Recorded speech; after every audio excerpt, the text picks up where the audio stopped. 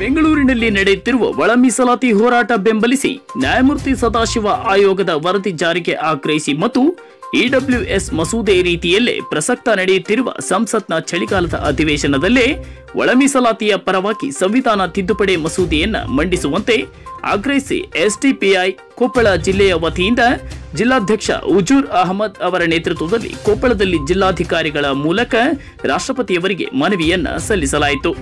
ರಾಜ್ಯ ಸರ್ಕಾರ ಒಳ ಮೀಸಲಾತಿಯನ್ನ ಜಾರಿ ಮಾಡಿದರೂ ಸಹ ಸುಪ್ರೀಂ ಕೋರ್ಟ್ನ ಆದೇಶ ತೊಡಕಾಗುವ ಅಪಾಯವಿದೆ. ಹಾಗಾಗಿ ಇದಕ್ಕೆ ಶಾಶ್ವತ ಪರಿಹಾರವಾಗಿ ಸಂವಿಧಾನದ ಪರಿಚ್ಛೇದ ಮುನ್ನೂರ ನಲವತ್ತೊಂದಕ್ಕೆ ಒಕ್ಕೂಟ ಸರ್ಕಾರ ಸೂಕ್ತ ತಿದ್ದುಪಡಿಯನ್ನ ತರುವ ಮೂಲಕ ಒಳ ಮೀಸಲಾತಿ ಜಾರಿಗೆ ಅನುವು ಮಾಡಿಕೊಡಬೇಕು. ಈ ತಿದ್ದುಪಡಿಯನ್ನ ಈಗ ನಡೆಯುತ್ತಿರುವ ಸಂಸತ್ತಿನ ಚಳಿಗಾಲದ ಅಧಿವೇಶನದಲ್ಲೇ ತರಬೇಕು ಎಂದು social democratic party of India, SDPI ಪಕ್ಷ ತಮ್ಮ ಮೂಲಕ ಒಕ್ಕೂಟ ಸರ್ಕಾರಕ್ಕೆ ಮನವಿಯನ್ನು ಸಲ್ಲಿಸಲಾಯಿತು.